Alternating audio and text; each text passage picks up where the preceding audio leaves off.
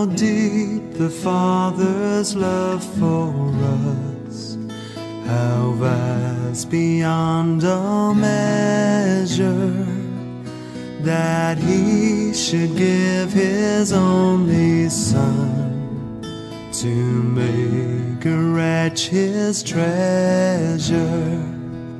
How great the pain of searing loss!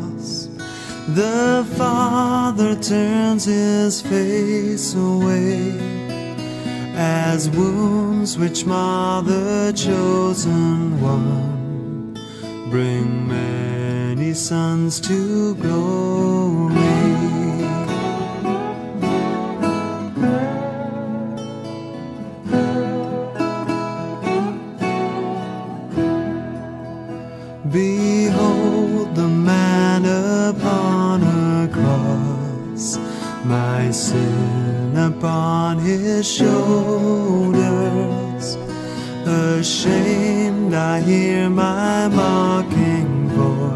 Call out among the scoffers.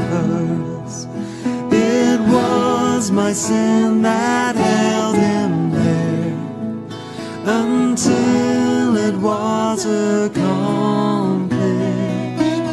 His dying breath has brought me life. I know that it is finished.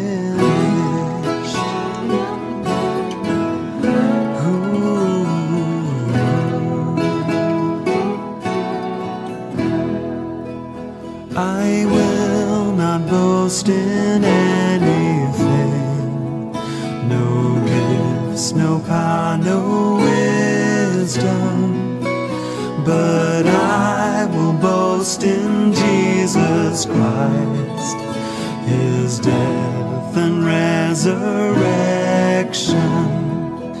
Why should I gain from His reward? I cannot give an answer, but this I know with all my heart. His wounds have paid my ransom. Why should I gain from His reward? I cannot give an answer, but this I know with all my heart. His wounds have paid my ransom.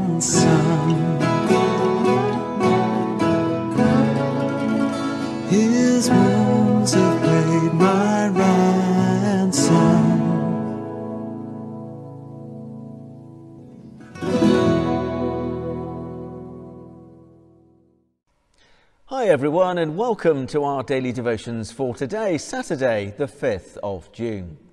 We begin, as always, with our opening prayer. Let's pray together. Creator God, mighty and mysterious, awesome beyond words, we thank you for making yourself known to us in Christ, for sharing our humanity, for walking our earth, for becoming one with us through him. Lord Jesus, we thank you for breaking down the barriers that separate us from the Father, for helping us not just to know you, but to relate to God firsthand. We thank you that through your living, your dying, and your rising among us, we can experience the gift of your Spirit, your living presence deep within. Eternal God, Father, Son, and Holy Spirit, open our eyes each day to the wonder of who you are and of everything you have done, and help us faithfully to love you, to serve you, and to honour you. Amen. Romans chapter 5 Therefore, since we have been justified through faith, we have peace with God through our Lord Jesus Christ, through whom we have gained access by faith into this grace in which we now stand, and we boast in the hope of the glory of God. Not only so, but we also glory in our sufferings, because we know that suffering produces perseverance, perseverance, character, and character, hope. And hope does not put us to shame, because God's love has been poured out into our hearts through the Holy Spirit who has been given to us.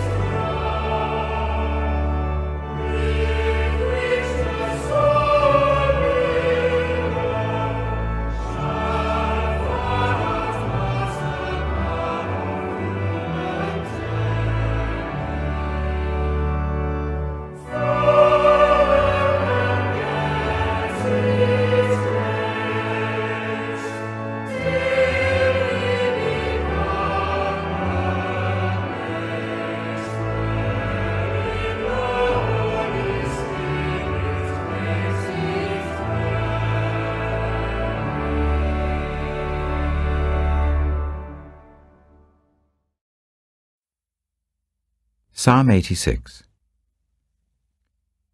Hear me, Lord, and answer me, for I am poor and needy.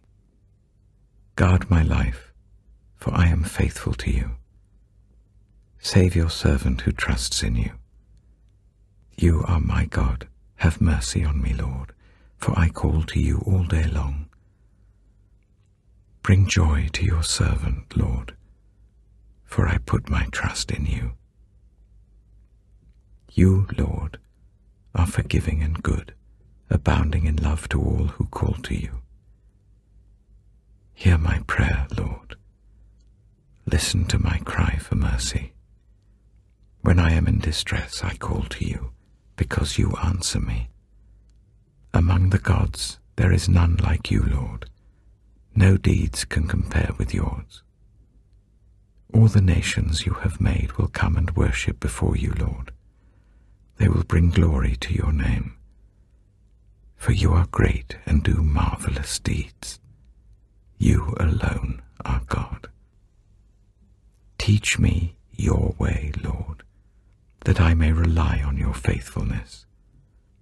Give me an undivided heart, that I may fear your name. I will praise you, Lord my God, with all my heart. I will glorify your name forever. For great is your love toward me. You have delivered me from the depths, from the realm of the dead. Arrogant foes are attacking me, O God. Ruthless people are trying to kill me. They have no regard for you. But you, Lord, are a compassionate and gracious God, slow to anger, abounding in love and faithfulness. Turn to me and have mercy on me. Show your strength on behalf of your servant. Save me, because I serve you just as my mother did. Give me a sign of your goodness, that my enemies may see it and be put to shame. For you, Lord, have helped me and comforted me. We come now to our closing prayer for today. Let's pray together. Gracious God, we thank you that we do not run the race of Christian discipleship on our own, but that we are part of an ongoing procession extending far back across the years and continuing long after we have finished our course. We thank you for those who have gone before us, especially those who have displayed special faith and dedication. We thank you for across the world those who follow you today, people from a host of backgrounds, cultures, and countries who seek to follow in Christ's footsteps and be true to his way. We thank you for those with whom we share fellowship, together with those whose words, whose deeds, whose teaching and ministry help to give us strength and support in our own journey of faith. Above all, we thank you for your Son, Jesus Christ, who so faithfully ran the race that you set before him and waits at the finish line to welcome us home. Teach us to learn from him and from others so that we may run our own race as faithfully as we can and in some small way help others to run theirs in turn. Amen.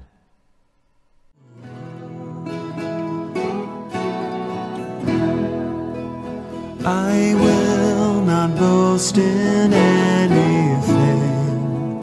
No gifts, no power, no wisdom.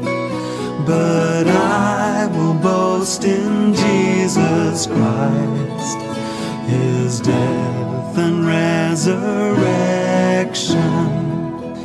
Why should I gain from His reward? I cannot give an answer, but this I know with all my heart. His wounds have paid my ransom. Why should I gain from His reward? I cannot give an answer, but this I know with all my heart.